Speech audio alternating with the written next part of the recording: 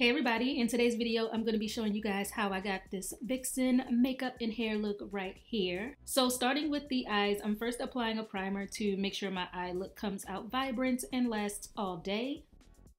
Then I'm using a dark gray eyeshadow stick. I'm going to use this as my base and I'm applying that in a half moon shape onto my lid, going just above my crease.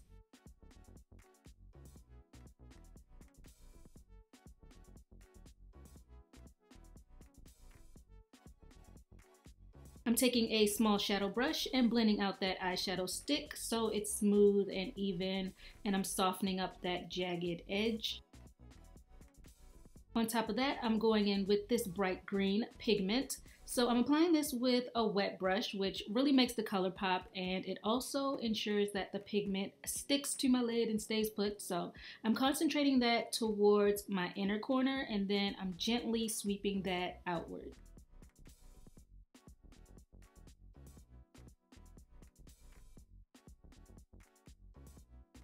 For my crease color, I'm using this nude eyeshadow palette and I kind of just swirl my brush into these two colors right here and I'm going to work that right at the edge of where the green and the dark gray stop just to add some of that color right there, bring it all together. And now going back to the eyeshadow stick, I'm lining my waterline so I get that deep set defined eye look. Then I'm brushing on some of the green pigment right on top of that. Next, I'm going in with a black liquid liner and lining my upper lash line. I'm starting off by making my wing first. I always kind of just like to make the wing first, and then I'm working that in towards the inner eye. Some mascara for my upper and lower lashes.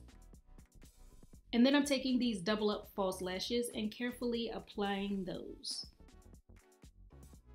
So that's the eye look, guys. Super bold green eyes. I'm really, really loving this vibrant green. Okay, so moving on to foundation. Today I'm using the Clinique Beyond Perfecting Foundation and Concealer. Clinique did sponsor this and sent me some of their foundation to try out. So I'm just dabbing that onto my face and I like that it has this doe foot applicator that I'm using right here. It just really helped me to apply the right amount of product, only what I needed. I didn't feel like I was wasting anything with this.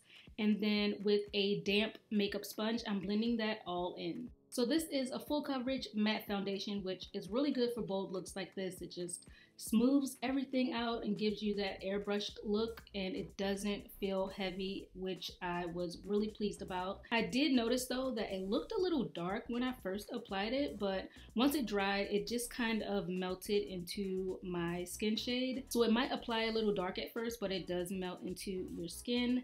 And since this is a two-in-one, it can be used as a foundation or a concealer. And I usually use a concealer to highlight. So I'm taking a lighter shade of this and applying that to my under eye area and down the bridge of my nose and then I'm going to blend that out with the same sponge. So the Beyond Perfecting foundation and concealer is 27 bucks and comes in 20 different shades. You can get matched for your perfect shade by visiting your local Clinique counter and you can also get a 7-day sample of any foundation which is pretty cool.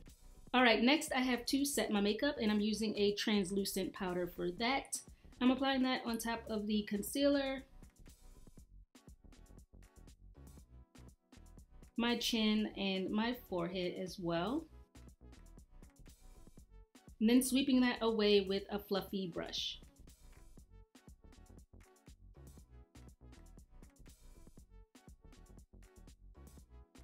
I'm going in with a bronzer to make my cheekbones a bit more prominent. So I'm applying that right underneath my cheekbones to help bring them out. And using a small shadow brush in that same bronzer, I'm sweeping it down the sides of my nose. I'm gonna do a little contouring. And once I have applied, I'm gonna go in with my finger and buff out those harsh lines, just smooth it all out.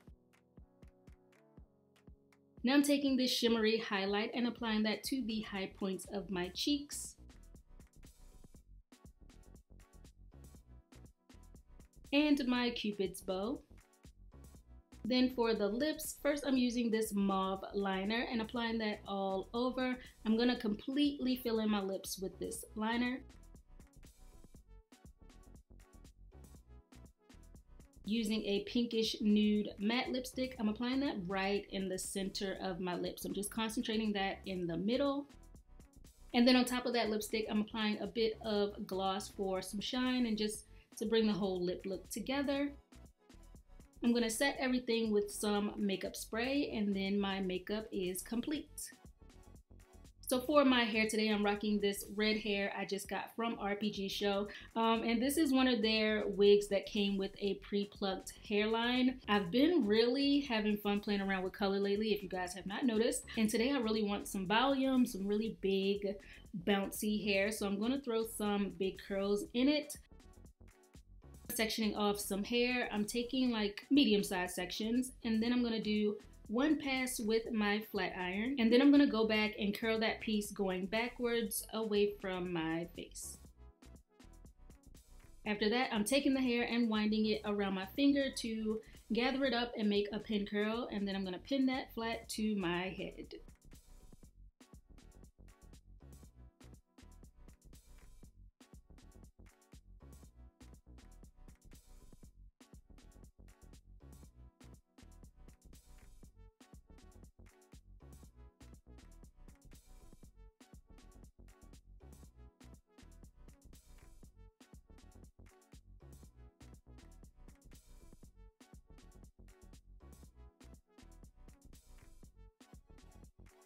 So I did that all over until all of the hair was curled and I made about 13 pin curls total. And then once they have cooled down, I'm gonna remove the hairpins and then finger comb and just play with it, fluff it and shape it. And that is pretty much it.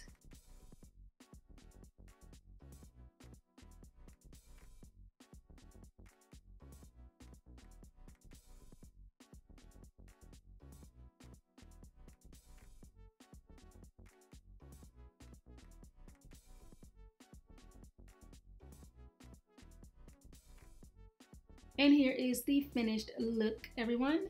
A really striking green smoky eye look and red diva curls.